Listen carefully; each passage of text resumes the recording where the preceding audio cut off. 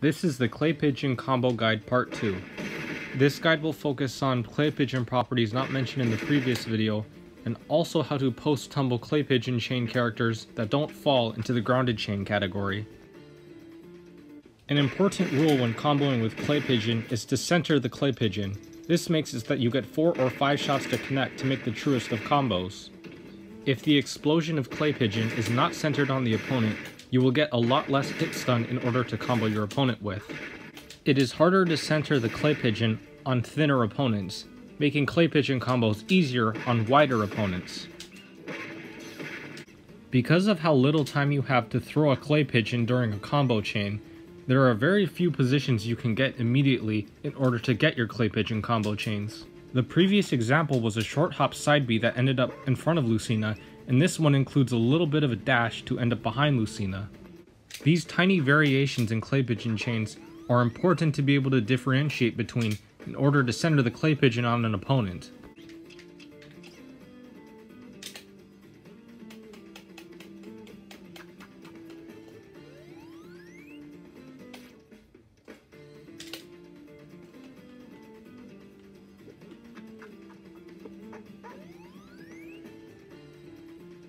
In some cases, you may need to short hop straight up in order to continue a clay pigeon chain.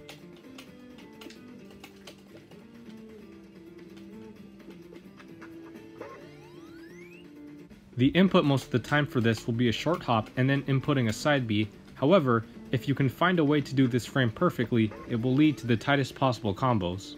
You can also add tiny amounts of drift to line up the clay pigeon combos, However, it is difficult to do these tiny amounts of drifts while not dropping frames in order to complete your combos. Another option we have to change up the Y position of the clay pigeon is to wave bounce the clay pigeon during the hop. This wave bounce is slower, however, it does provide a unique height that other options don't provide. The most amount of unique positions you can get with clay pigeon combos happens with your full hop heights, it all depends on when you release the clay pigeon during the full hop that can determine where you are centering it for your combo. Keep in mind that hard toss clay pigeons and soft toss clay pigeons will also affect how your clay pigeon will center on your opponent.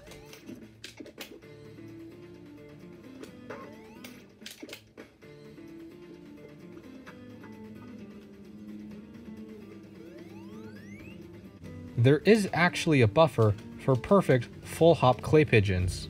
By holding jump and forward during the buffer, all that Duck Hunt needs to do is press B during the buffer to release Clay Pigeon as soon as possible during a full hop. This will result in a full hop Clay Pigeon that will be centered in a lower Y position than by simply sliding the inputs in order to perform this.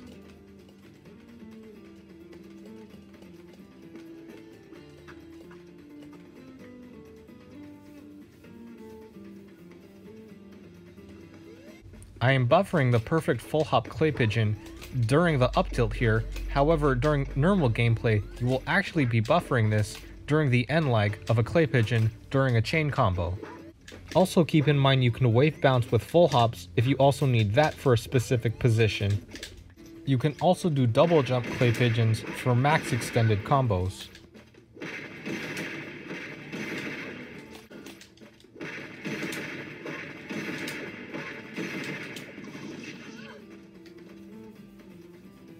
Let's look at how these different heights interact with platforms. Here we can see a short hop clay pigeon that will hit Lucina's feet, however we don't land on the platform. By going for a full hop clay pigeon, we will land on the platform, however it will not be centered on Lucina, so we can't really combo off of it. However, if we go for a buffered full hop clay pigeon, we can see that we will land on the platform and it will also be centered on Lucina. Another option to go for is for a full hop wave bounce clay pigeon that will land on the platform and will center on Lucina. This option will be good for tech chasing on platforms. We can also use platforms and double jump clay pigeons to extend our combos. This is a different route to take than the drag down combos with up air.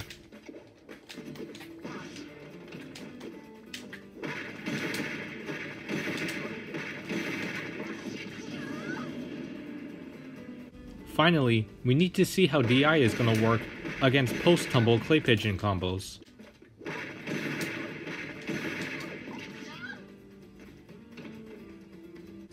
Here, the computer is holding hard to right, and we can see that we can land three clay pigeons in a row together. The first two connect in pre-tumble, which mean it could not be DI'd, however the third one is hit in post-tumble, which means that it is only being hit because the opponent is holding far right. If the duck hunt is aware that the opponent is only holding right against clay pigeon, then it is possible to kill confirm them for it.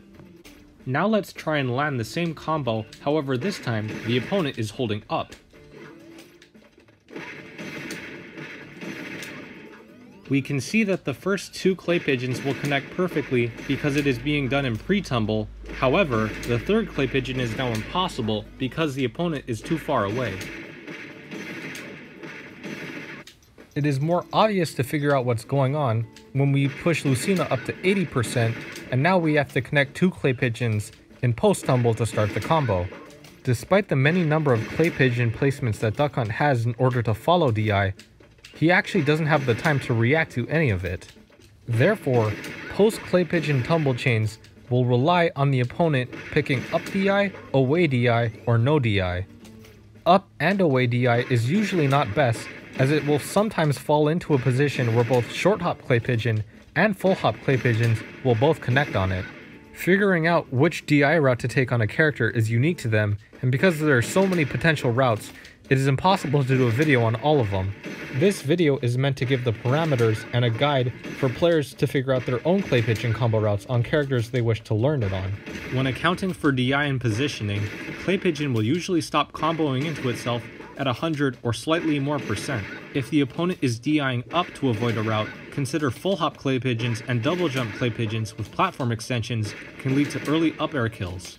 If an opponent is DIing away to avoid a route, consider that you have more horizontal and more drift clay pigeons to extend the combo, potentially land up air or back airs for kills.